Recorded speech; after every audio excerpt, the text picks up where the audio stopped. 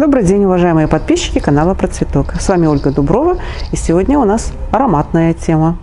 Ароматная тема про такое растение, как розмарин. Розмарин – растение, известное издревле, и я не буду вам рассказывать про его целебные свойства, и как его использовать в пищу, куда его прикладывать и что из него делать, потому что с этим всем, я думаю, многие уже знакомы, а кто не знаком, то с успехом ознакомиться на просторах интернета. Э, хочу сказать, что очень с древних времен известен, и, тем не менее, и к тому же разрешен официальной фармакопеей. То есть все с ним в порядке. Все части этого растения целебны и не представляют опасности для человека, за исключением, конечно, людей, которые аллергичны ко всему на белом свете. Существует два вида розмарина. Это розмарин культурный, либо розмарин лекарственный, обыкновенный еще называют его, официналис по латыни, и розмарин распостертый. Перед нами кустики розмарина лекарственного или обыкновенного розмарина. Помните, мы как-то по осени с вами пересадили с грунта. Вот он так себя чувствует и даже дал совершенно хороший прирост, здоровый. Конечно, немножко истонченный, потому что розмарин очень чувствителен к свету. И если вы его захотите выращивать дома в комнатных условиях, то помните о том, что он должен располагаться исключительно на солнечной стороне. А если на участке в летний период, то, конечно, отвести ему солнечное место на своем участке. Э, розмарин, который распростертый, он встречается в диком виде э, на юге Европы, в принципе, как и розмарин лекарственный. Это растение засушливых территорий Средиземноморья, как север Африки, Аравийский полуостров, южные части Испании, Италии, Франция. А на территории бывшего Советского Союза, в средней части европейской, он не встречается в диком виде, только в окультуренном виде и э, в тех местах, где э, заморозки не опускаются ниже минус 5 градусов. Когда-то в Крыму он был интродуцирован, привлечен в середине XIX века, и с тех пор он там распространен э, и даже зимует в открытом грунте. Но это не естественное место обитания, а это окультуренная форма розмарина. Это то, что касается видов розмарина. Э, как нам в домашних условиях вырастить розмарин? Э, особой проблемы вырастить его из семян не составит, и можно с успехом заниматься черенкованием розмарина. Если вы в зимний период или в осенний период э, встретите в магазине, продаются не только пучки, но и продаются растения в горшочках, даже в продуктовых гипермаркетах, то можете купить себе такое растение и черенковать его. Какое время черенкования в домашних условиях, в условиях вашего дачного участка? Это весна, когда у вас будут уже видны молодые отростки. Мы берем исключительно молодые, не древесневшие побеги и срезаем верхушечную часть с легкой древесневшей пяточкой. Эту часть мы можем просто обшморгнуть. Ох, это было уже слово у меня. Оборвать листики. Мы можем эту часть обрезать, если вам жалко обрывать. И то, и другое допускается. Тех местах, где мы обрываем, не травмируется растение, наоборот, в этих местах стимулируется рост корешков. Вот мы сейчас наделаем с вами череночков, которые можно будет укоренять различными способами. Самый банальный способ, который я не люблю по отношению не только к розмарину, но и к другим растениям, это укоренение в воде. Но многие этим способом с успехом пользуются. Ну и хорошо, что у них это получается. Розмарин влаге не столько чувствителен, сколько чувствителен к отсутствию света. Поэтому черенкование мы проводим начиная с марта месяца. Либо это, если в открытом грунте, то по мере отрастания, либо в начале июня, можно даже в середине, в конце августа. И вот некоторые помещают просто таким образом в водичку. Можно сверху э, прикрыть, едва прикрыть, не надо укутывать и завязывать, чтобы происходил воздухообмен. И таким образом выращивают и наблюдают, как там появляются корешки. Ну и пусть они появятся у всех, кто хочет воспользоваться таким методом. Это очень хорошо заметно будет. И когда они сформируются в междоузлиях, то мы их будем высаживать уже по отдельным горшочкам. А я вам предложу тоже, в принципе, банальный метод. Ну, для тех, кто впервые захочет вообще заняться черенкованием, может, это будет любопытно. Мы берем горшок любой, любой формы, любого размера, может быть и такой, и такой, потому что э, в нижней части горшка должно быть э, минимум 5-8 сантиметров почвы. Ну, давайте я сюда ее будем здесь это делать. Застелим дно газеткой или бумажкой. Субстрат должен быть, главное условие, не кислый. Поэтому, если вы читаете в интернете, что поди сосновый лес и набери подстилки, то это не про розмарин однозначно. Хотя такое я встречала. Я уже говорила о том, где произрастает, произрастает розмарин. Это очень скудные почвы. Это юг Европы, Средиземноморье. И почвы ближе к щелочным. Желательно просто нейтральные. Э, сверху засыпаем песочком. Песок должен быть промыт, продезинфицирован. Выравниваем поверхность. Сейчас мы ее прольем.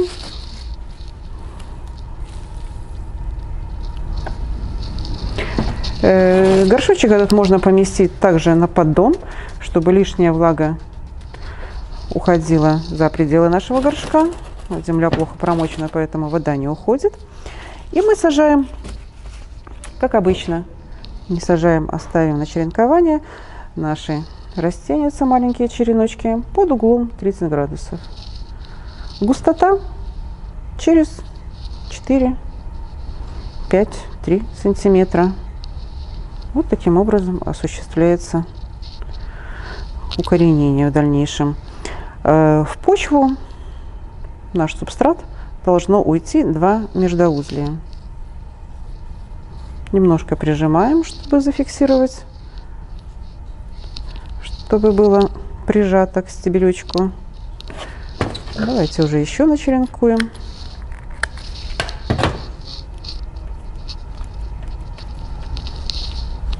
Если мы будем брать черенки с одревешневшей части, то процент укоренения будет крайне невысок крайне невысок. Поэтому берем только с верхушечной части, с маленькой одревесневшей части. А, укоренение происходит в течение примерно месяца. Мы не будем расковыривать, как Карлсон, и смотреть, что там проросла косточка или нет. Легким подергиванием мы поймем, что там уже сформировались корешки. Если легко достается, это значит еще корешки не образовались. Если сидит прочно, значит корешки уже образовались и можно приступать к пересадке. Зачеренковали. Сверху это может быть у вас мини-тепличка, тогда вообще хорошо. Вы накрыли сверху колпачком. Э, вы можете какое-то пластиковое, соответствующее по размеру э, формой накрыть. Либо сделать колпачок из целлофана, чтобы сохранялась влажность. Розмарин размножается достаточно, укореняется достаточно хорошо и имеет высокую степень приживаемости, если обеспечить ему влажность в зоне не только корешков, но и э, влажность воздуха. И хотя он считается засухоустойчивым, но он любит влажность воздуха. Поэтому, когда вы сохраняете розмарин, сохраненный с осени, с вашего участка, а это непременно надо делать, если вы живете в средней полосе и еще холодней, потому что, как бы вы ни укрывали, заморозки он не перенесет. И когда мы сохраняем его на окошке или еще где-то, то необходимо устроить ему э, влажность вокруг листьев. Возможно, тут будет какой-то поддон, и вы насыпите вокруг поддона в поддон керамзит. Иногда будете подливать водичку, потому что застой корней тоже категорически противопоказан розмарину. Керамзит, напитывая, будет отдавать влагу в воздух и создавать общую влажность. Э, выносим весной мы его на улицу тогда, когда уже не будет угрозы заморозков, хотя легкие похолодания, конечно, он переносит. Не допускайте при этом пересыхания земляного кома, потому что э, растение формирует достаточно хорошую, крепкую корневую систему, и тогда с вашим кустиком будет все в порядке. И одного кустика вам, я думаю, хватит на круглый год для того, чтобы порадовать себя каким-то блюдом или положить у изголовья понюхать, либо сделать какое-нибудь волшебное снадобье. А, вот у меня есть экземпляр, который хотел стать таким шаровидным штамбиком, но вовремя не был сформирован, и от своей тяжести он начал гнуться. Пальниковая палочка не спасла его, поэтому ему уже требуется пересадка. И если мы заглянем в корневую систему, то мы удостоверимся в том, что она уже себя много-много раз изжила. Но когда мы формируем штамм, то, конечно же, растение немножко страдает. Поэтому во время пересадки такого растения мы убираем смело из нижней части корни, которые уже чрезмерно заплели земляной ком. Убираем, убираем. Нам это не надо. Берем горшок гораздо большего размера. Снова уже застилаем, потому что у него большие отверстия. Застилаем, чтобы не было вымывания почвы в поддон, либо на стеллаж. Насыпаем для дренажа керамзит. Можно вместо керамзита воспользоваться песком, либо мелкой галечкой. Что у вас есть, лишь бы была такая, было такое дренажное устройство. И заполняем новым свежим субстратом, уплотняем. Так, проверим, как мы его. Вот, уже и многовато. Значит, немножко мы его распределяем.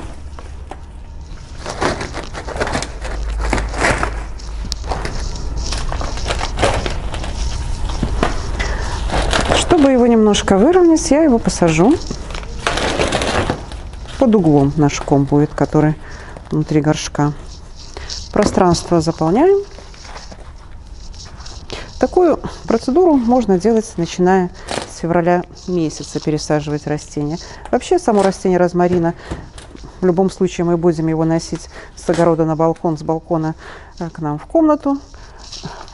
Но пересаживать его следует раз в 2-3 года в больший горшок. Прирост за лето при хорошем уходе достаточно большой, поэтому смело можно нарезать с него зелень для разных наших целей. Ну и, конечно же, проливаем. И, как я говорила, что главное условие и при выращивании из черенков, и при посеве семян, так, скрыл, и при посеве семенами это освещенность. Поэтому не стоит ни черенковать, ни сеять, если у вас нет дополнительной подсветки, раньше марта месяца. У себя на родине и в теплых регионах розмарин цветет. Ну, у нас дождаться цветочков крайне трудно, потому что мы все-таки его обрезаем, формируем, и цветочки закладываются очень редко. Э, семена у него, как и все пряно-ароматические растения содержат эфирные масла, поэтому единственный недостаток для семян – это то, что нам надо их замочить, либо промыть. Использую такой способ, как барботирование, то есть промывание в проточной воде, либо можно купить такой мини-аквариумный аэратор и поместить в баночку. Пусть эта процедура займет полдня, а замачивание производим в течение суток. Не забывайте каждые три часа менять водичку, чтобы продукты метаболизма не закисали и не загнивались семена. Подсушиваем и обычным способом высеваем их и ставим на светлое место. И не ждите, что это произойдет, всходы произойдут через неделю. Растение всходит очень долго, поэтому не допускайте пересушивания. И где-то через дней 20-30 появятся проростки.